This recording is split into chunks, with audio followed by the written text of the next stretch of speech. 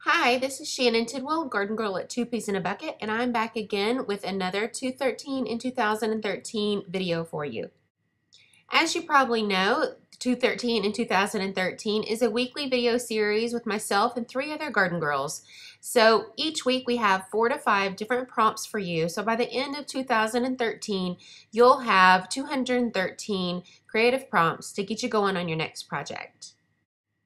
This week I've got a little bit more of a traditional layout for you. It's using holiday photos as well as more than one photo on the page. So let's get started. I've had this new ruffle paper by KI Memories burning hole in my pocket and I really wanted to use it. So I'm going to incorporate it on this layout. First I just wanted to show it to you so you could get a close-up look at it. But you can see that the little butterflies are kind of like die cut shapes that are stitched on already for you. You can flip them up so they kind of float off the page or you can leave them flat. And I thought a good way to keep them from getting too flat if you wanted to leave the dimension but you wanted it to make sure it stayed there when it was in your album, you could put little pop dots under some of the butterfly wings. That way they'll be sure to stay dimensional. So let's go ahead and jump into our first prompt. Our first one is to scrap a holiday. And I've chosen these photos from my daughter's Easter egg hunt at school. And I've kind of gathered the photos that I took that day and kind of deciding which ones I want to use. I pulled out the one that was with her and her friend. And I think I just want to concentrate on her for this layout. Maybe do a separate layout about her and her friend. So right now I've got two focal photos that I'm going to start with. And on to prompt two, we're gonna use a yellow background. I wanted to change it up a little bit this time. I've gotten so used to using kind of neutral background papers and I decided that I wanted to use a color and I felt like this yellow really went along with the theme of my photos and I kind of like how those little shapes are sort of like little egg shapes. So even though it was hard not to reach for a chevron pattern, I tried to step out of the, my little box a little bit and go with a yellow background in a different pattern that I normally use. Both of these papers are Elle's Studio. I just love this flower pattern paper, but unfortunately it doesn't go with the butterfly paper that I've already decided that I wanted to use. But on the back side, it has a nice turquoise text print that I think will really go nicely with the other papers I've chosen as well as my photos. And actually my background kind of fell together easily because I already had this butterfly paper cut to those dimensions and I really like how the, those papers stack together in there. So I'm just going to trim those down to fit like that so I don't waste any of that pretty flower paper on the back of the turquoise. I can use it on another layout. I'm going to go ahead and stack these papers together and get them adhered down onto the page. Okay, so now I've got my background set. I'm going to start thinking about my photos. And since my background is so busy, I'm definitely going to have to figure out some separation between the photos and the background. So that's where I'm going to go next. And I've found this really nice neutral grid paper. It's also an Elle Studio paper. I just really like this white look to it with the gray lines. I think it'll go nicely with the background I already have going. So I'm going to go ahead and trim that down to map my photos. Okay, I've got that trimmed down, but now looking at it, it definitely needs a little something extra to that grid pattern just to kind of make it stand out just a little bit, just enough. So what I'm going to do is grab my little spritzers. These are the Heidi Swapp ones. I really like them because they have that metallic sheen to them. So I'm using a pink one and I'm just going to randomly drop the drops all around. So I'm adding the pink first and then I'm going to go back and add some teal drops as well. While I'm waiting for my mist to dry over there, I'm going to go back to my background and work on it just a little bit. I want to add some trim between the layers of the papers, just kind of add a little separation between those patterns. So I'm going to start with some navy dot washi tape. And then you just can't go wrong with a little bit of silver glitter trim. Not to mention that it matches the silver trim that's in one of the photos that my daughter's holding that cute little chick egg. So I think that my little photo mat is just about dry. I'm not the most patient scrapper, so it's dry enough. But I'm going to go ahead and get that laid down and see what it looks like with my photos. I decided that needed a little extra around the edge, so I added some stitching just with some gray thread around the edge. I'm going to lay out the photos, kind of play around with those two photos, figuring out how I want to layer them together, which one I think should be on the left or right. And then I definitely need to figure out how I'm going to use my supporting photos. I know that I need them to be smaller and I found this fun little Polaroid type frame. There are several manufacturers that make similar products, so I'll be sure to link you up to those. As you can see, I just kind of keep playing around with the photos, trying to figure out the best placement of them. Um, I kind of want to cover up that other little girl that's in the picture, but I don't want to trim down my photo any because I don't want to lose any off the top. So I'm going to kind of strategically place my um, supporting photos and cover that up. And here's where I decide that I'm going to go ahead and add in that fourth photo of the Easter basket. And I'm going to do the same thing with the little frame, the Polaroid frame, and trim it down. So that brings us to our third prompt of the day, and that is to use at least four photos on your layout. So you can do like I did and trim a couple of those down and use them as just supporting photos for your focal photos on your page. So you don't have to do four four by sixes. You can trim those down smaller and that way it's easier to fit more on the page. Once I got those photos laid out, I noticed that there wasn't quite enough splatter showing around the edge of my mat.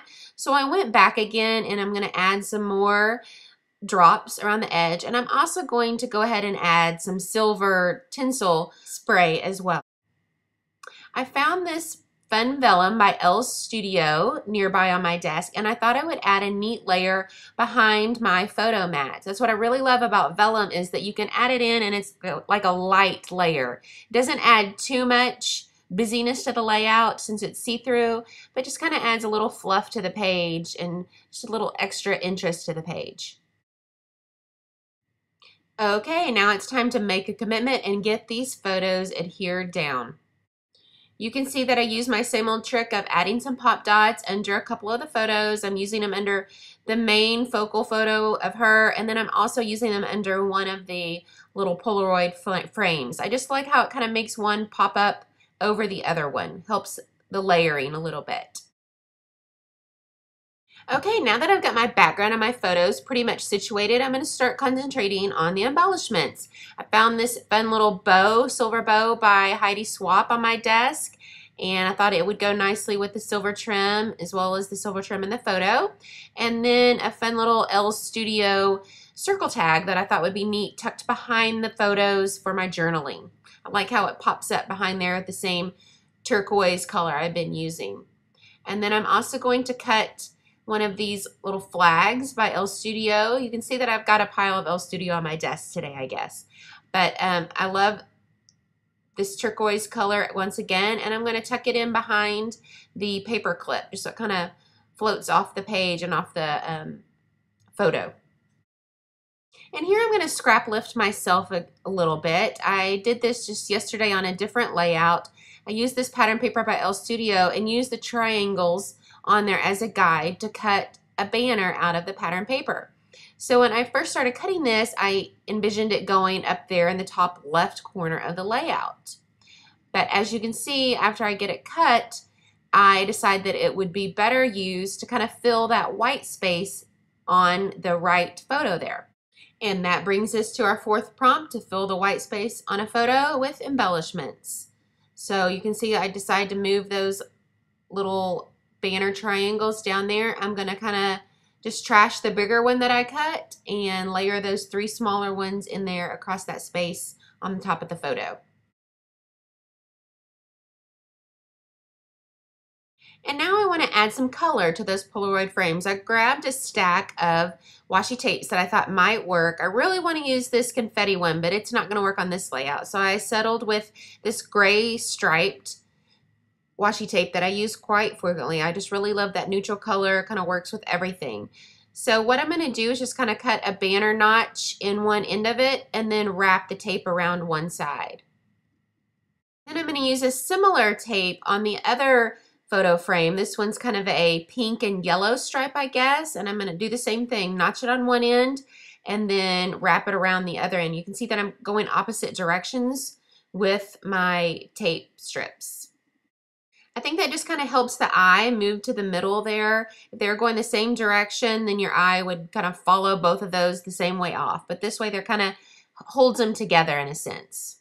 Okay, now I'm revisiting the little banner up there at the top. I feel like it needs kind of a finishing touch to it, but since I've already got the photos adhered and I want that journaling behind it, I can't really do any machine stitching across it. So what I'm gonna do is I'm gonna use these cute little ruffle borders by KI Memories. So I'm going to go ahead and trim them off of the clear background. That just kind of helps me figure out the placement on the page without having to make the commitment. So I'm going to trim that border down to the size I need, still with the backing on it, and get it placed before I pull the backing off. And that way, because it is a really sticky backing, so you can't really pull it back off without ripping your paper. So that way I can get it just right before making that commitment. Alrighty, moving on to the title. I know that I want the title to go down there in that left bottom corner, but it would be too busy with the butterfly background to kind of put the letter stickers right on top of that. So I found another piece of vellum from Elle Studio that I'm going to trim down to kind of a flag shape just so it kind of adds a little bit of extra interest to it. And also do some machine stitching around it just so it has a finished edge to it. And that'll be a great place to base my title because it's still sheer where I can see the butterflies behind it, but it'll have a nice base for my title. I'm kind of feeling like these Polaroid frames need a little bit of dressing up. So I've grabbed a stack of enamel dots. These are by Basic Grey. Again, several manufacturers make similar products, so I'll link them down below for you at um, Two Peas in a Bucket. But um, I'm going to kind of confetti, I guess, that top right-hand corner of that frame. And in the video, I kind of I just do this one frame, but after I finished the video, I decided that the other frame needed a few little confetti dots as well. So oh, you can see in the final photos of the layout, the finished product with the dots on the left one too. And now I'm going to skip back over and start working on my title. I love these chunky silver glitter letter stickers from American Crafts, and that's what I'm going to use for the main word of my title. And I'm kind of just going to stack together several different letter stickers to spell out our little Easter chick. I had a little bit of the extra border, that ruffle border from KI Memories that I used up above. So I'm just going to trim off just a little piece of it and kind of add it to the title there to dress that up a little bit, add a little color to the title flag there. And now I'm going to work on the journaling.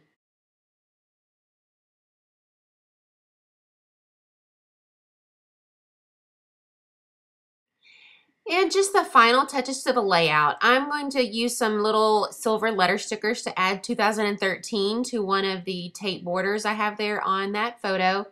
And then as you saw earlier, I did add the confetti to the tape border on the left Polaroid frame.